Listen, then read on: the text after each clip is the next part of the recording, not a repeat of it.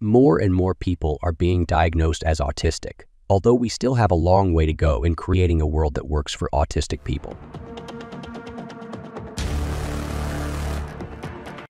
Alright, so I'm also doing some research on the ability and when you some interviews, like, so that's.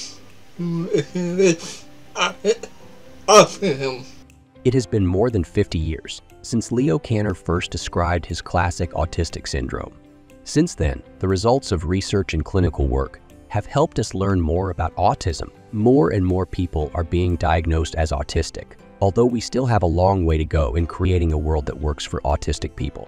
In 1961, the British Working Party, directed by Dr. Mildred Creak and consisting of 13 members from various clinics and hospitals in the UK, established nine criteria for diagnosing autism impairment of emotional relationships with people, unawareness of one's own identity, preoccupation with particular objects, resistance to change, impairment in perception, illogical anxiety, speech loss or a failure to develop any speech, and a distortion in motility patterns. In 1979, Lorna Wing and Judith Gould examined the prevalence of autism, as defined by Leo Kanner, among children known to have special needs in the former London borough of Camberwell. They found a prevalence in those with IQ under 70 of nearly 5 per 10,000 for this syndrome, closely similar to the rate found by Lotter, as well as children with Kanner autism. Wing and Gould also found a larger group of children, about 15 per 10,000, who had difficulties with social interaction, communication, and imagination, which they referred to as the triad of impairments, as well as a repetitive stereotyped pattern of activities. Although these children did not fit into the full picture of early childhood autism, or typical autism as described by Kanner, they were described as being on the broader autism spectrum. The total prevalence rate for all autistic children with special needs in the Camberwell study was approximately 20 in every 10,000 children, Wing and Gould, 1979. Gillberg ETL, YY 1786 in Gothenburg, Sweden, found very similar rates in children with learning disabilities.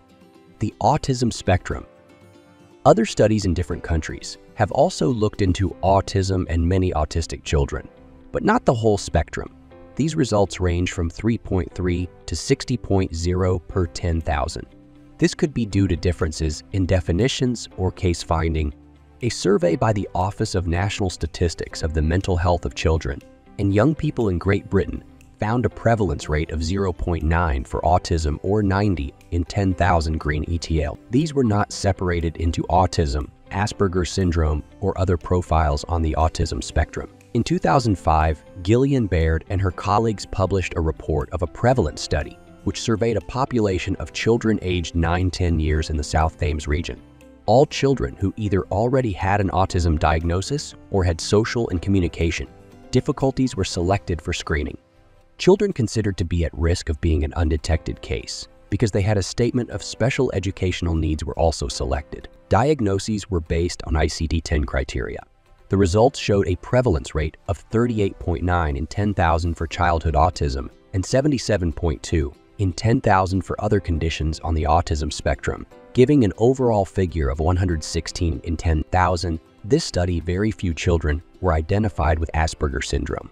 The authors acknowledged that some children in mainstream schools who did not have a statement of special educational needs would have been missed because of the selection criteria. The authors note that the prevalence estimate found should be regarded as a minimum figure, ETO and diagnostic criteria. For Asperger's syndrome, suggests a person who would be diagnosed with Asperger's syndrome using the criteria used by Gillberg would probably receive a diagnosis of childhood autism or atypical autism using the ICD-10 criteria. Autistic adults. The Adult Psychiatric Morbidity Survey is the primary data source for monitoring trends in England's mental health. In 2007, it included autism for the first time and found that one of the populations studied was autistic. The Department of Health then funded a project to build on the AM study and look more closely at the numbers of autistic adults that were not included in the original study. This included people in residential care settings and those with complex needs. Professor Terry Brugha of the University of Leicester led this study. Brugha also led autism research for the APMs 2007, combining its findings with the original APMs. The study found that approximately 1.1 of people in England are autistic, the NHS Information Center, Community and Mental Health Team. Brugha, TEL, 2012. I hope in this video, you learned quite a bit about autism.